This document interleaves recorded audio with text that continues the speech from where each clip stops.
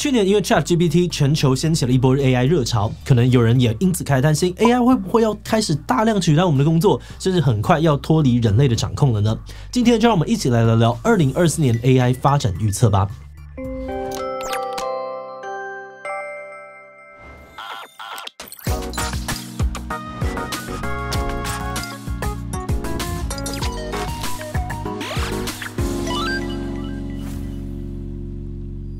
Hello，大家好，我是志奇。二零二三年底，美国的求职平台 Resume Builder 透过了问卷调查，发现有四十四 percent 主管都预计要在二零二四年的时候用 AI 取代部分的员工。很多人可能就开始担心自己会不会因为跟不上时代而失去竞争力。但我觉得现在 AI 的技术日新月异，要抓住这样子的变化快速的趋势，真的好难。幸好今年一开始呢，有很多的 AI 的龙头企业啊，跟专家都对于今年可能会有的 AI 发展跟新技术做出了预测。所以今天呢，我们整理出了一些重要的趋势，看看在未来的一年内可能可以看到哪些新的发展，还有这些 AI 发展会怎么样影响我们的日常生活。不过在开始今天讨论之前呢，先让我们进一段工商服务时间。最近一年多，各种 AI 的应用进步神速，你是否也很好奇 AI 技术的最新动态，以及该如何在自己的产业或领域当中应用 AI 呢？如果是的话，那千万别错过 n NVIDIA 在三月十八日到二十一日举办的 GTC AI 大会。只要报名就能够免费同步线上参与这场位于美国的大会，零时差掌握最新技术。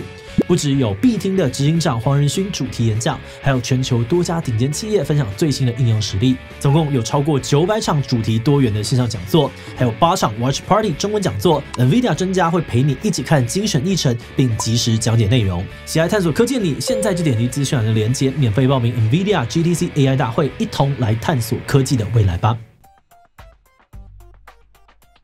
去年推出 Chat GPT 引起热潮的 OpenAI 公司，今年预计要持续的扩大，并且持续发展他们的 AI。今年初的时候，OpenAI 就推出了 GPT Store，也就是像 Apple Store 或者像 Google Play 那样的平台。开发团队啊，跟企业用户之后就可以克制化特定功能的聊天机器人，像是专门用来教学的、设计的或是写文案的 GPT，给付费的使用者使用。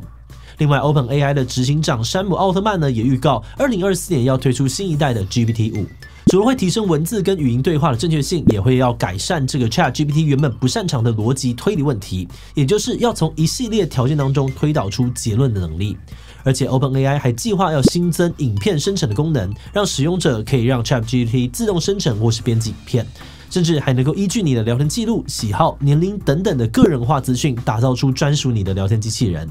那虽然这离他们的最终目标通用人工智慧，也就是可以跟人一样学习并完成广泛任务的 AI，还有一段距离。不过奥特曼说，他们会持续的朝这个方向努力。而在这些 AI 技术越来越进化的同时，其实我们的世界也在一步步的改变当中。今年我们可能可以看到的其中一个变化，就是虚拟世界跟现实世界的距离越来越靠近。苹果在今年的二月开卖了他们的头戴装置 Vision Pro，这号称呢是一台革命性的空间运算设备。所谓的空间运算呢，就是机器透过电脑视觉分析并了解现实世界的空间结构，再把虚拟的物件置入到使用者眼前的现实空间当中。只要戴上头盔哦，眼前就会像出现一个无边际的大荧幕一样，可以直接用眼睛啊、手或是语音操控眼前的画面，也可以在这样子的空间当中看 3D 的影像啊、电影或是玩游戏。而这样产品推出呢，预计也会在今年带起一波 AR、VR 跟元宇宙的热潮。而且 AI 呢，不只是让我们走进虚拟世界，也让虚拟的人物走进我们的生活。例如，国外的一款聊天机器人 App Replica 呢，就可以让用户打造自己的虚拟情人。不少用户在长期跟自己的虚拟情人聊天之后，居然还真的产生了恋爱的感觉，甚至觉得 AI 比现实世界的任何人都更贴心、更懂自己。科技电子报的资深记者凯西·纽顿呢，就认为啊，未来可能会有越来越多人发展这样子的人际恋爱。另外，现在也有越来越多的虚拟网红啊、虚拟直播主跟虚拟主播，甚至连老师都有虚拟的了。美国的非盈利教育机构可汗学院呢，在二零二三年就打造了 AI 助教，引导学生解题跟思考，甚至呢还能够依照个别学生的强弱项给予适合的练习。本身拥有麻省理工学院数学啊跟电机学位的学院创办人萨曼可汗呢，就认为哦，虽然实体教学还是有一定的价值跟必要性，但毕竟每个老师一天的时间就那么多，AI 助教可以让学生在自学的时候一样有人可以问。所以萨曼可汗预计，二零二四年使用他们的 AI 助教人数可以达到上百万，而且其他专家也预测，像这样子的 AI 助教在未来会更常见，而且 AI 会更广泛的被运用到教育里面，像是用 AI 来阅卷啊跟评分。至于 Chat GPT 刚出现时呢，原本很多老师都担心学生会直接让他帮忙写作业，所以出现过一波要禁用 Chat GPT 的声浪。但现在呢，反而有越来越多人把它当成教学工具。一方面是因为要完全阻止学生不用 Chat GPT 实在是不太可能；另一方面，有很多老师也开始发现 Chat GPT 不但可以帮他们设计课纲跟题目，在课程当中呢引导学生使用，还能够让学生学会人机协作，也就是跟机器人呢一起完成一项任务，达到更好的生产力。而这样子的技能呢，对未来要进入职场的学生来说，可能是非常重要的。目前已经有越来越多的领域成功的透过 AI 的力量提升原本的工作效能，像是在医疗方面，AI 可以用于疾病的筛检，甚至是问诊；而行销产业呢，可以用 AI 计算出最佳的广告投放时间跟管道；而保险业呢，则可以透过 AI 辨认可能的诈欺，或是替客户规划最适合的投保项目。另外，专家也说，今年应该也可以看到越来越多企业尝试用人形机器人做一些重复性的劳力工作。以特斯拉为例哦，他们在去年底就发表了 Optimus 机器人第二代，预计呢在今年就可以进入工厂进行初步的测试。还有在物流产业，像是亚马逊呢，应该也会走向越来越自动化的工作流程。因此，未来势必呢会有一些人工作会被 AI 取代，而另外一些呢也会开始接受 AI 相关的职训，学着跟 AI 或者机器人一起工作。最后还会有一群人只是开始从事因 AI 兴起的全新职业。像是透过各种数据资料训练 AI 辨认图像，或是对话的人工智慧训练师，还有负责审查 AI 系统会不会侵犯隐私、引发歧视或其他伦理问题的人工智慧伦理师。这些角色呢，在研发的过程当中都非常重要。如果没有好好管控的话呢，AI 也可能带来不小的风险。前面提到，未来的 AI 不管在生活啊、教育、医疗都可以提供更多个人化的服务，但同时呢，这也表示我们有更多的个人资料会被 AI 搜集，而这些个人资料被 AI 的资料库记录了之后，会不会被外泄，或是被有心人士利用，都可能是严重的问题。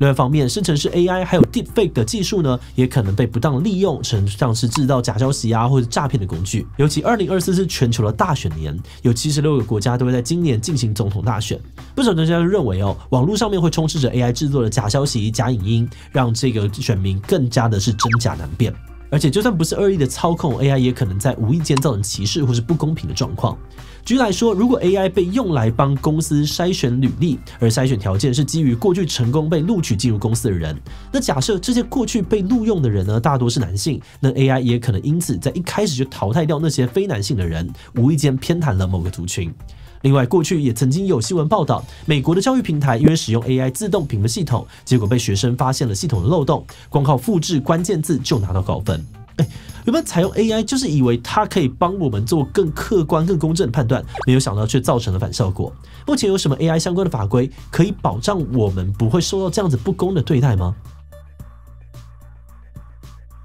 早在二零二一年，欧盟就提出了人工智慧法的草案，而到去年二零二三年底，也已经达成了暂时政治协议，预计呢最快在二零二五年就可以正式的生效。这部法案呢，主要是将 AI 的系统依据可能造成的风险进行分类的管制，从最低像是过滤垃圾邮件这种几乎没有什么风险的 AI，到最高的，也就是那些会危害人身安全跟基本权利需要完全被禁止的 AI。风险程度越高，就越会有越严格的管制，而违规的 AI 企业也会受到罚款的惩罚。另外呢，美国总统拜登也在二零二三年底发布了人工智慧行政命令，要求美国的 AI 大企业要提供安全测试等资讯给政府，以确保人民的基本权利不会被侵害，也不会被 AI 剥削啊，或者是歧视。目前像是 OpenAI 啊、Google 跟微软等大公司都已经对他们开发的 AI 做出安全性的承诺。不过，很多专家还是担心哦，这些法规制定的速度太慢，跟不上现在 AI 科技的发展，很难真正的预防 AI 可能对人类造成的危害。但也有另外一些人觉得，这些法律都管太多了，根本是在扼杀创新，阻止产业发展。那客观来说，目前这些法规呢，都还在持续发展阶段。而我们台湾的国科会现在呢，也已经在规划人工智慧基本法草案，预计今年应该就可以正式推出。看了有关今年的 AI 趋势预测哦，确实很多新功能的预告，像是 ChatGPT 的影片功能呢，真的让我们还蛮期待的。但与此同时，我们也看到很多人的担忧，有些人呢是害怕自己的工作被 AI 取代，陷入了深深的资讯或者是学习焦虑；也有些人呢担心 AI 的人工智慧会带来很多我们意想不到的危害，威胁人类社会的秩序。其实从去年开始呢，我们团队有很多的成员都有类似的焦虑哦。但同时，我们也有一些人觉得 AI 很好玩，就带着同事们一起摸索跟尝试。这个过程当中，我们确实找到了一些人机协作的方法，对工作带来帮助。渐渐的，大家就比较不会那么的害怕或抗拒。而以今年专家的预测来看呢，目前大致上 AI 好像也还没有太多太意料之外的发展。也就是说，现阶段呢，大家应该还不会马上看到 AI 超越人类的智能或是机器人满街跑。所以我们觉得，或许这也正好是一个可以让自己好好准备迎接下一步转变的时刻。这个准备呢，可能是练习操作、熟悉 AI 的使用特性与限制，也可能是了解各种 AI 伦理的风险议题。因为一旦我们理解 AI 可能会在哪些地方带来威胁，那或许大家就有机会提前做好准备吧。另外，关于 AI 发展其他预测，因为时间的关系，我们今天没有办法在这里一一讨论。欢迎大家在底下帮我们补充或是留言分享你的预言哦。那接着最后我们想问的是，你觉得前面提到的这些 AI 趋势真的都会在二零二四年实现吗？哎，我觉得会哦。目前专家说的还算保守，应该会有更多更惊人的技术会出现。比我觉得不会哦。开始执行之后，应该就遇到像资金方面的现实问题，应该没有那么乐观。所以我不知道，我只希望呢 AI 不要变得太聪明到人类无法控制的程度。第其他留言分享你的想法吧。最后，如果你喜欢今天的影片，欢迎分享出去，让更多人知道二零二四年 AI 发展预测。此外呢，也可以点击这个地方看 AI 大战以及 AI 语音诈骗。那么今天的这一期七十二视频告段落，就明晚再。见喽。